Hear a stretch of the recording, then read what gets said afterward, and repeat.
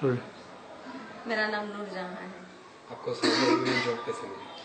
मेरे को बॉम्बे का एक एजेंट है निसार अहमद और नजमा नजमा अहमद उन लोगों की वजह से जॉब मिली। आपके साथ वहाँ पे कैसा व्यवहार होता था? आपके एम्प्लॉय आपके साथ कैसा व्यवहार करते थे? बहुत खराब व्यवहार किया है उन लोगों ने मेरे साथ। जानवर से भी बदतर ज़िंदगी मैंने निकाली है वहाँ पे। आपको होम सर्विस के लिए दबान किया गया था आपके ऊपर फोर्स किया गया था? फोर्स भी किया दबान भी किया मैंने मार भी खाई है बहुत मार खाई है वहाँ पे।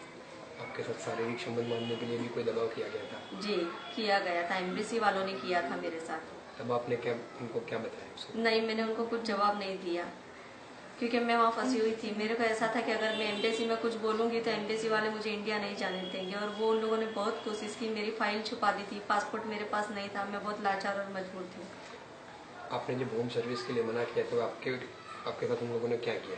मेरे को टॉर्चरिंग किया गया। कि आपके हस्बैंड यहीं पे? मुझे मालूम है उनका काम की कॉपी हमारे पास है। अगर आप हमारा काम नहीं करोगी तो आपके हस्बैंड को बोले ज़िंदगी भर के लिए हम सऊदी में जेल में डलवा देंगे।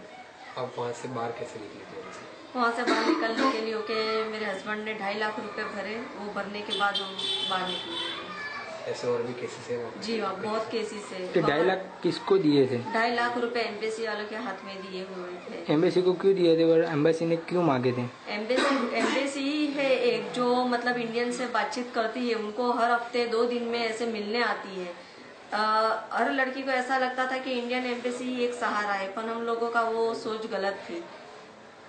वो सहारे के नाम पे मतलब एक बोले तो बदनुमा दाग धब्बा है इंडियन एम्बेसी कुछ नहीं है देखो मेरे पास दस हज़ार रूपए लेके और ये आउट पास बनाया था कि तुमको इंडिया जाना है तो ठीक है हम बना देंगे तो दस हज़ार रूपए। तो ये दस हज़ार रूपए दे के आउट पास बनाया और बनाने के बाद भी मेरे को इंडिया नहीं भेजा। ये इसकी वैली बनाया हुआ है दो मतलब आठवें महीने में बनाया है दो हज़ार सोलह में। जबकि मैं इंडिया आई हूँ दसवें महीने की अ, तीन तारीख के दिन और भी क्या मांग की थी एम्बेसी वाले ने अ, मांग की थी, पैसों की मांग की थी, फिर दूसरा ऐसे बोला था उन्होंने कि दो दिन, तीन दिन आपको हमारे साथ रहना पड़ेगा। तभी बोले, आपको छुड़ाएँगे। जबकि छुड़ाने वाले, जमात वाले बोलते, जो गरीबों को मदद करते हैं हेल्प करते हैं, वो आए थे। तब हम लोगों ने बोला था कि, सर, ये हमारी मदद करने के लिए तैयार है। वो मैडम का नाम सुमैया मैडम था।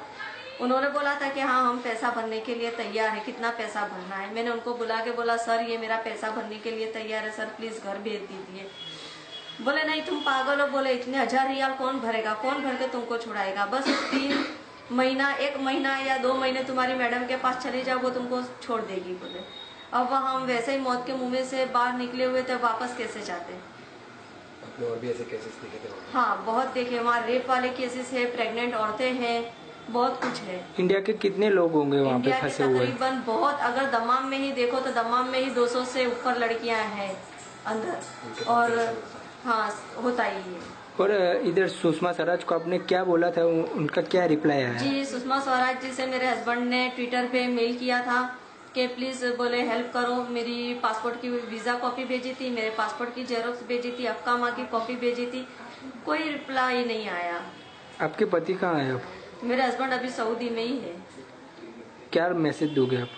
बस मैं तो यही मैसेज देना चाहती हूँ कि कोई भी इंडिया की लड़की अगर सऊदी जाती हो पैसे कमाने की लालच में तो मेरी तरह गलती ना करे। मैं तो सब कुछ अपना बेच के गई और आई तो अभी खाली याद आई हूँ। तो मेरी गुजारिश है जो तमाम इंडियन बहनों को कि कोई भी पैसों की लालच में, बाहर कोई भी कंट्री में मत जाओ ना ही अपनी इज़्ज़त गवाओ